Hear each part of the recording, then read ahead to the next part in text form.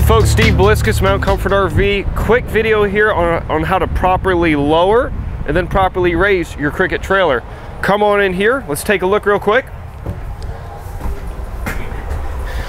If you've got the child berth, you want to make sure you've got it at least in a pretty up position. You don't have to have it all the way up, but I generally wouldn't leave it hanging down fully because it'll come down to about there if you do. So bring it up some. And if you do have the Primus stove, make sure that you've got the lid down because if it's up, it's going to sit up about right here and it's just not quite going to make it.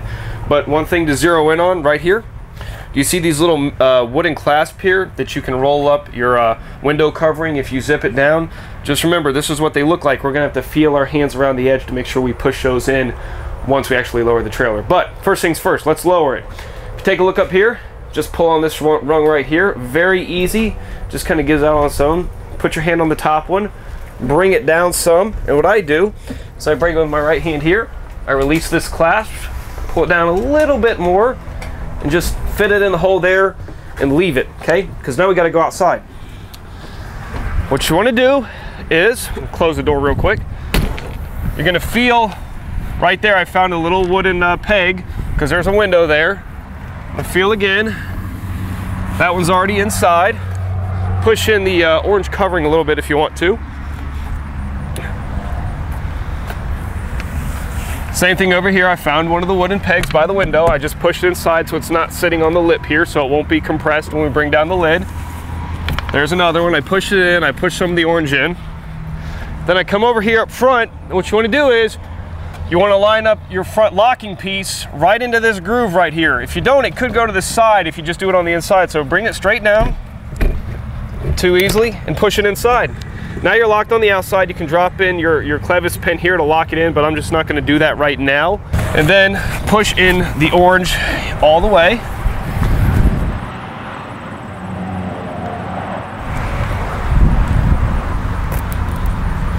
Sorry folks, I know I'm gonna move in quick here. I just wanna kind of show you how simple this really is. And one thing I want you to notice, um, this thing is, you know, it's only six feet nine inches completely lowered like this. But if you're gonna leave it outside, you don't have a garage, you don't have a tarp, it's gonna be outside for years and years and years. Um, you know, if you're going in the wintertime, you might wanna unvelcro this right here and just push it inside so your canvas is completely in during the winter time or if you're going extended months without using it. Now that your outside is locked up nice and tight, we're gonna go to the inside.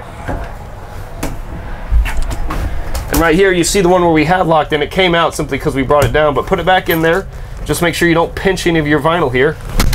Push it down hard, lock it into place, and you don't need to see this. If you can, that's wonderful, but we're gonna do the same thing over here. And that's it. Close your door, bring up your back jacks, move any wood blocks you have, hook up and you're ready to go. Let's go and opening it now. Pretty much same thing, just in reverse. And easier, believe it or not.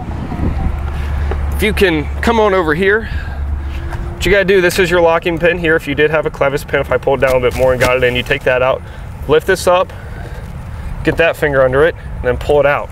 That's it. Coming into the inside. What you wanna do release one of them, come out, lock that in.